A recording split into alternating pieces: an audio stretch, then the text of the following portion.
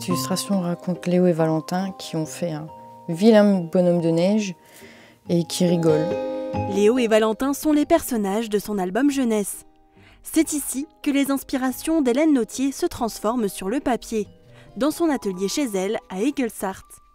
Le dessin, c'est une passion ancrée depuis longtemps. Depuis toute petite, j'aime dessiner et avec le temps, j'ai vraiment voulu travailler dans l'illustration. Alors au début, je voulais être infographiste et j'ai trouvé une, formation sur Internet qui durait trois ans, donc je l'ai fait en même temps que je travaillais en CDI.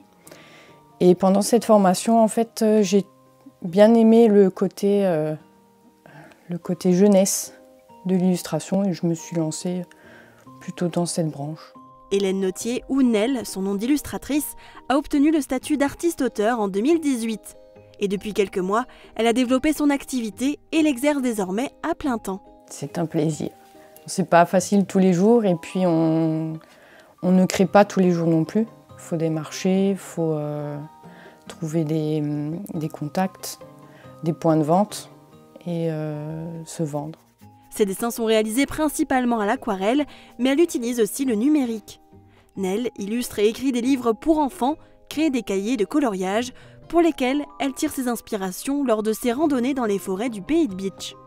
Le fantastique, la nature et les animaux sont les thématiques qui reviennent dans ses créations. J'adore déjà euh, illustrer des renards.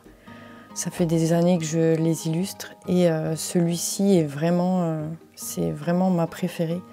De par les couleurs et l'atmosphère globale de l'illustration. Je m'évade, ça me, ça me déstresse, je pense plus à rien. Je, crée, je suis dans mon illustration et rien d'autre.